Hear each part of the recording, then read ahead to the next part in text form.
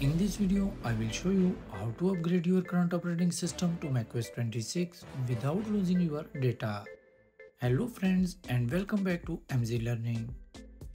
Just a few minutes ago at WWDC 2025, Apple introduced its new operating system for Mac computers, which is currently available as a developer beta. This means it may have some bugs, but if you are as excited as I am and cannot wait to explore its new features before the final release, I highly recommend installing it on a separate partition or volume. I have created a separate video on this topic. The link is in the video description. However, if you have a separate Mac or simply want to upgrade your current operating system to macOS 26, the procedure is very simple. Just follow the instructions in the video to ensure a smooth and safe upgrade. Before you start, make sure your Mac is compatible with macOS 26. Similar to previous versions, macOS 26 has specific hardware requirements, which means not every Mac can run it. For your convenience, I have provided a list of compatible devices in the video description. If your Mac is on that list, you can proceed to the next step. Make sure you have enough storage space for installation.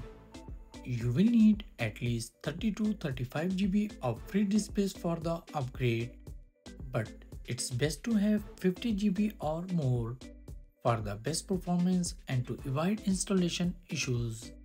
It's very important to backup your Mac before installing any major software updates.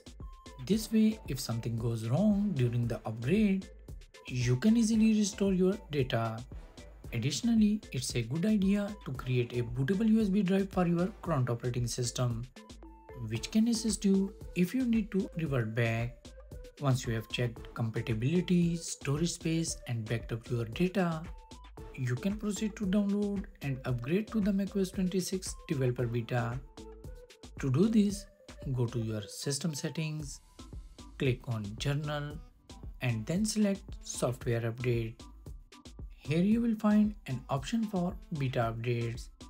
If you don't see this option, it means your Apple ID is not associated with the Apple Developer Program. To join the program, open your web browser and go to the Apple Developer website. Now, sign in using the same Apple ID that you use on your Mac.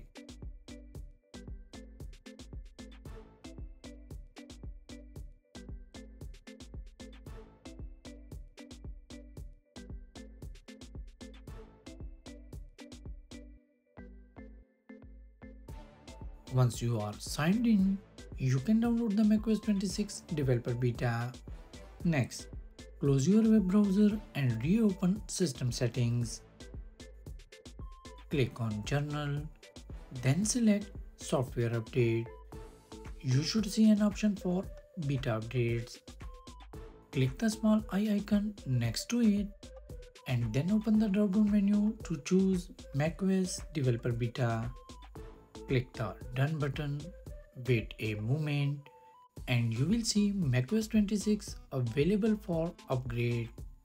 Click the upgrade now button to start the upgrade process. First, the system will download the updates for macOS 26 and then prepare your Mac for the upgrade.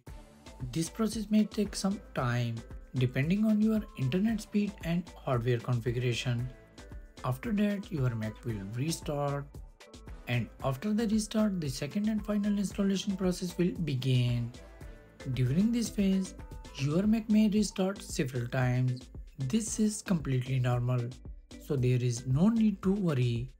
The entire process is automatic, so just sit back and relax. In a few minutes, your Mac will be upgraded to macOS 26. So friends, that's how you can upgrade your current operating system to macOS 26. Once macOS is installed, I will share another video highlighting its new features, tips and tricks. So be sure to subscribe to the channel and stay connected. Thanks for watching and I will see you in the next one. Peace.